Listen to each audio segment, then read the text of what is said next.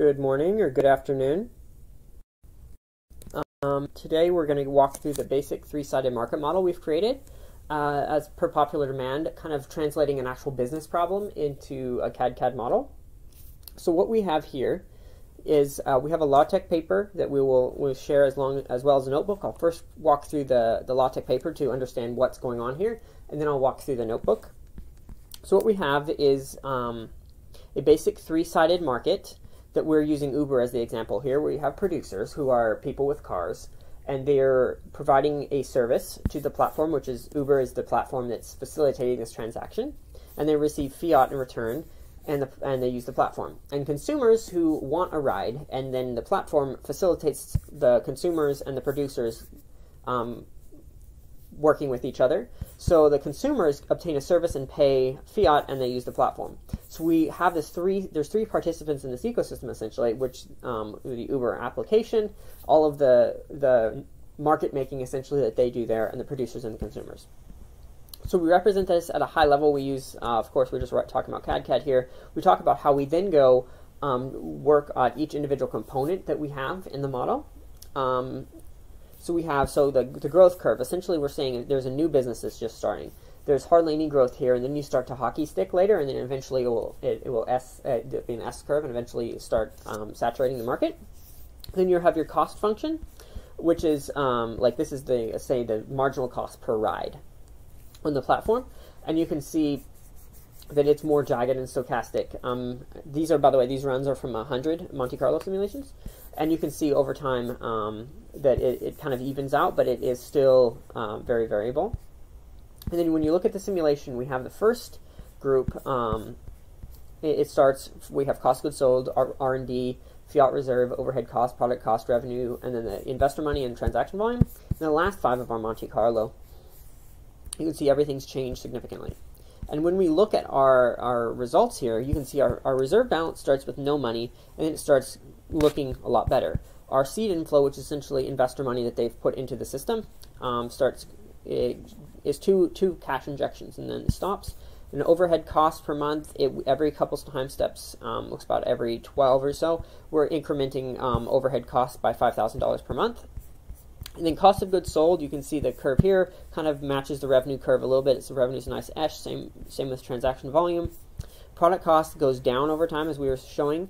R&D expenses per month, um, they go up periodically as well. And then we have gross margin per month and EBITDA, which is earnings before interest, uh, depreciation, and amortization.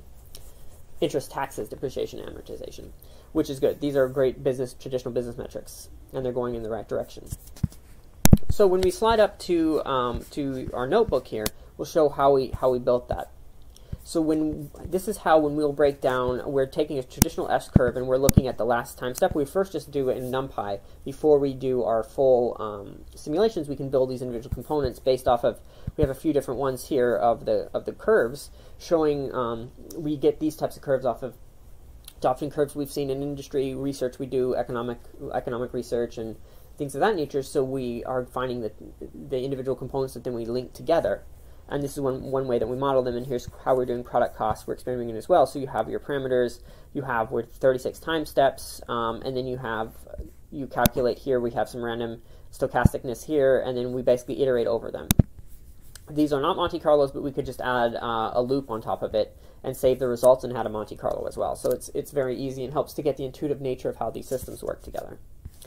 And then our configuration file, we have our, our global parameters up here. And we have widgets in the dashboard. That's what these are are doing. If it's this is a live notebook, we could we could use the widgets. And then we have uh, the range, um, the number of simulations. This is the number of time steps simulations. Um, we have a random state here. And then we have our ex exogenous processes, which is uh, generate their transaction volume. We have our product cost generator. Um, those are in, in our, and we're seeing a little bit of cost decrease over time. In our model, those are ex external states. And then we also have investor money. We're keeping that as external. It's not part of the actual system of how the internal mechanisms of Uber operate. Um, of this very, very, very high level abstract example, we have an update function for costs every 15 time steps, um, R&D as well.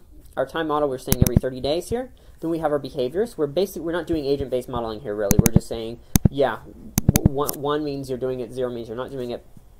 And we have metrics, inflow, outflow, investors, and uh, metrics. And investors, it will just say when there's an injection here. We have a little bit of logic.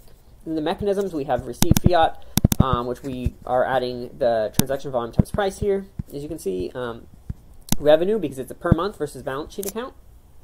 Balance sheet account meaning that it's uh, it stays the same as like a bathtub. You'll just change it um, based on inflows and outflows. Versus this will start over each time. You're you're checking the the rate of change essentially, and then.